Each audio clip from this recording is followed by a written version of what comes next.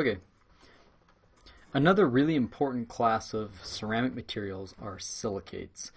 Silica and oxygen are probably the two most abundant elements in the Earth's crust, and so unsurprisingly, silicates or silicon bonded to oxygen make up one of the most common compounds that are all over the place, right? The basic building block to all of these silicate compounds is the SiO4 4 minus tetrahedral unit, right? So the silica is in the center of a tetrahedra of four oxygens all around it. That has a charge of 4 minus, right? Silicon oxygen bonds are highly covalent, so these are strong bonds. But because this is a polyatomic ion, so this group of atoms has a charge to it, um, it behaves sometimes in an ionic manner, right? These polyhedra, these SiO4 tetrahedral units, can be put together in lots of different ways. They can all be in a three-dimensional connection, right? For example, the structure cristobalite is a three-dimensionally connected SiO4 unit. You can see that all of these SiO4 units are connected. All their four all their four corners are connected to another uh, SiO4 unit. Okay. That leads to uh, each oxygen being shared by two silica since they're corner shared, um, okay? Because of the structure's open nature, you can look at it, there's lots of open space in here. That leads to a relatively low density for these materials. By the way, this is like quartz. Uh, pure quartz has this uh, a structure similar to this. This is actually a high temperature version of it. Okay. Um, the strong bonding leads to high melting points. The open structure leads to low density.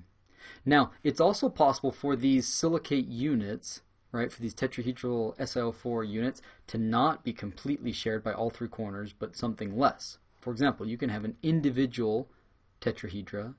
You can have a disilicate ion where two tetrahedra are shared by one corner. You can have a chain, right, like a silicate strand. This is an Si2O6 4 minus strand, right? That's the repeat unit there. Or they can be shared in a two-dimensional sheet, and this would now become an Si2O5 2 minus connection there, right?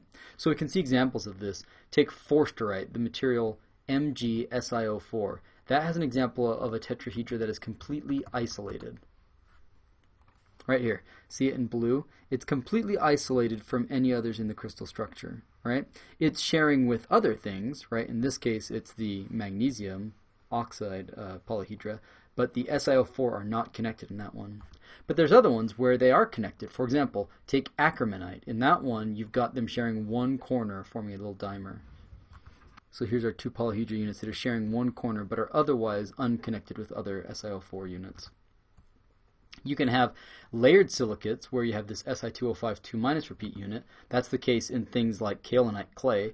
Most of the clay that you hopefully had a chance to play with when you were in elementary school, maybe you uh, started with a lump of clay, and when you added water to it, became plastic and flowable.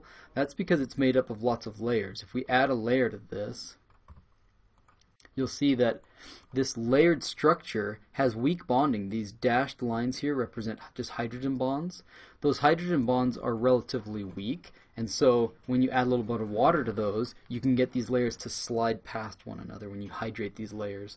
But within these layers, take a look, you've got these rings of shared polyhedral units for our SiO4 repeat unit. So these silicate minerals, they all use this SiO4 uh, tetrahedral unit, but you can put them together in lots of different ways. And so there's an enormous diversity when it comes to silicate structures available in nature.